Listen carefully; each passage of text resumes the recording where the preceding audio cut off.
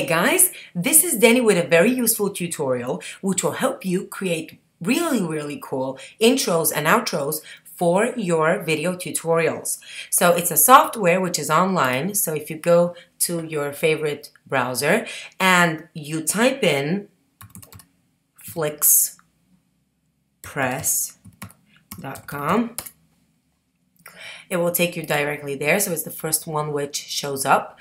First, you have to create your account. So I've already done that. Uh, it's really simple. It's not like the Google account, which uh, asks you for your phone number and etc. So it's really simple. You then have to wait to get an email. After you get the email, you just uh, activate it and you're set to go. So if you go to automated templates, uh, you go to free templates, you'll see here options which you already have.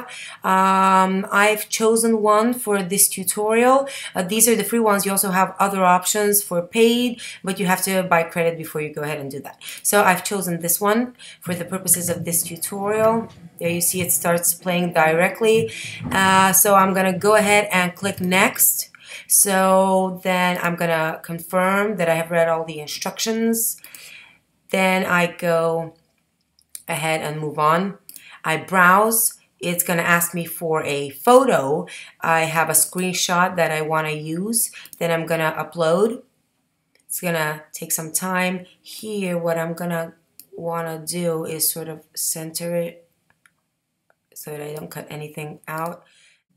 So here I'm gonna have uh, three text boxes which I'm gonna I'm gonna have to fill in. So I'm gonna go ahead and write English for ICT. This is what I want. Lifelong long writing in the cloud. And really be careful not to make any mistakes because if you do they're gonna pop up in your video. You, you don't want that. And final text uh, why don't I have my name? Um, Denitsa Sherkova, FMI. Okay, so here what I'm to do is I'm to add audio. You can go ahead and choose something that you want. I already know what I want, so I'm to go ahead and use this one. This is what I want. Um, and drag it here on the right side, select. After you're done with this, what you want to do is you want to have your image also in your image container, otherwise it's not going to let you create the video. And then you're going to place your order. Okay, and uh, this is your order ID number. So this is mine. You can also rename your file after you have it ready. So now this is the really boring part where you have to wait for your video to render. So let's go ahead and give it a few minutes. Once your video is ready, you can uh, go ahead and open it. You're going to get an email which is going to know notify you that you uh, your video has been processed. It has been rendered. So after you get the email, you're off to go.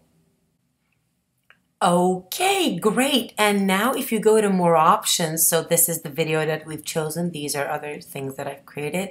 If you go to download SD, you can download your file and there you have it. It is an MP4 file. So you can play it automatically or you can just drag and drop on your desktop.